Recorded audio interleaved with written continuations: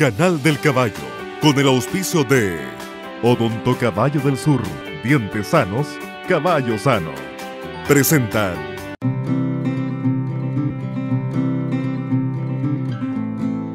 Bueno amigos, hoy les voy a hablar sobre el signo más subdiagnosticado de un problema dental en los caballos, que es yo creo que lo mismo que nos pasa a nosotros cuando nos duele algún diente.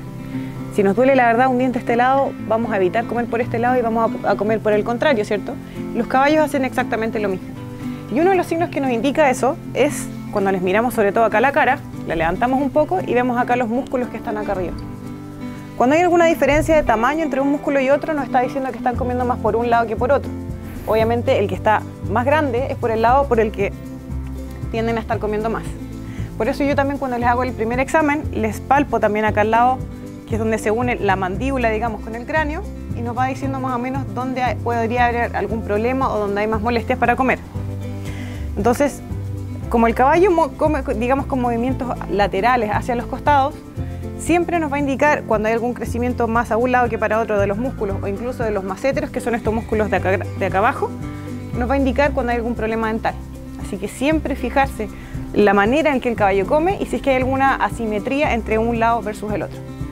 Bueno amigos, ya saben que ante cualquier duda o consulta que tengan, nos buscan en redes sociales como Odonto Caballo del Sur. Un caballo sano y feliz dará lo mejor de sí.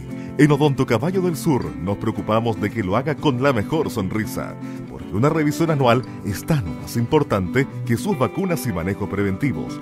No descuides la boca de tu caballo desde un mejor aprovechamiento de su alimento, reducción de riesgo de cólicos, mejorías en el trabajo y en la competencia, aumento de condición corporal y de su vida útil, entre otras. Doctora Caterina Yocota, odontóloga equina, certificada, máster de la Universidad de Edimburgo, dedicada al 100% a la odontología equina.